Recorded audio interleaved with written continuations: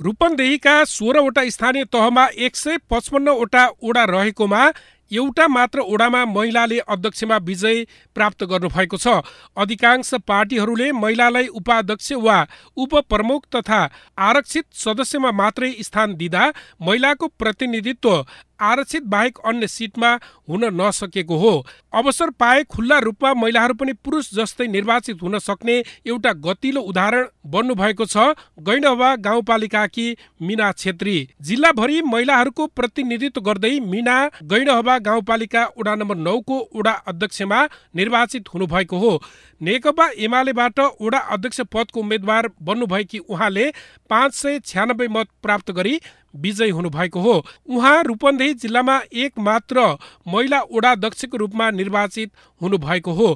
कञ्चन गाउँपालिकाको ओडा number तिन र चारबाट महिलाहरूले उम्मेदवारी दिए पनि उनीहरूले जित हासिल गर्न सकेका थिएनन्। अघिल्लो कार्यकालमा महिला ओडा सदस्यमा निर्वाचित हुँदै कार्यपालिका सदस्य बन्नुभएकी मिनाले महिलाको समस्या नजिकबाट बुझ्ने मौका पाएको बताउनुहुन्छ। दस कक्षासम्म मात्र अध्ययन गर्नुभएकी मिनाले अब शिक्षाबाटै ओडाको विकास गर्ने बताउनु भएको छ।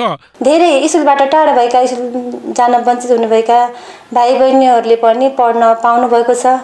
एउटा त्यो खुसीको कुरा छ र अर्को हामीले हाम्रो स्वास्थ्यमा पनि हामी केही सानो रोग लाग्यो भने सामान्य रोग लाग्यो भने पनि हामी मुर्गिया कलोनी बुटोलतिर जानुपर्ने टाढा जानुपर्ने अवस्था थियो र अहिले हामीले ओडामै स्वास्थ्य चौकी भवनसँगै सेवा दिन पाएका छौँ र हामीलाई खुसी छ हाम्रो ओडाका वासीहरूले स्वास्थ्यबाट यही हाम्रो ओडाबाटै स्वास्थ्य सेवा लिन पाउनुभएको छ। मिनाले मत माग्ने क्रममा घर दैलो गर्दा आफू विजयी भएमा फेरि पनि ओडावासीको घर दैलोमा पुगेर समस्या सुन्ने र सोही बमोजिम ओडाको विकासको काम अघि बढाउने बताउनु भएको थियो। हामीले केही गर्छु भन्दा भन्दै पनि हामीलाई मौका नपाएको हुनाले हामी महिलाहरू अघि बढ्न नसकेको रहेछ भन्ने मलाई अहिले महसुस हुन्छ। तसर्थ हामी महिला दिदीबहिनीहरू आफ्नो घरको कामसँगै समाजलाई परिवर्तन गर्न समाजमा हिँड्नुपर्छ। आफ्नो घरको कामसँगै समाजमा केही गर्छु भनेर हामी आफ्नो आत्मादेखि लाग्यो भने हामी पक्कै असफल पक्कै सफल हुन्छौँ भन्ने सम्पूर्ण दिदीबहिनीहरूलाई म विश्वास दिलाउन चाहन्छु।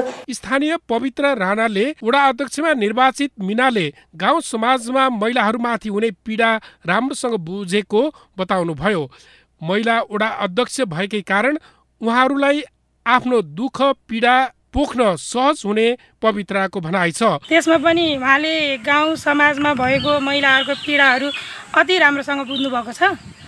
अब त्यो बुझेको हुँदा पनि अब उहाँले जित्नु भएकोमा महिलाहरूको दुःख कष्ट पनि बुझ्नु होला र त्यही सम्बन्धी उहाँले होइन हाम्रो दुःख पीडाहरू महिलाहरूको दुःख पीडाहरू माथिसम्म पुर्याउनु हुन्छ भन्ने पनि हामीलाई लागेको छ। मिनाको यो उम्मेदवारीलाई स्थानीयले पनि अनुमोदन गरिदिए र उहाँलाई जिल्लाकै एक मात्र वडा अध्यक्षको रूपमा विजय बनाएका छन्। राज्य खबरका लागि भैरवाबाट राधेश्याम विश्वकर्माको रिपोर्ट।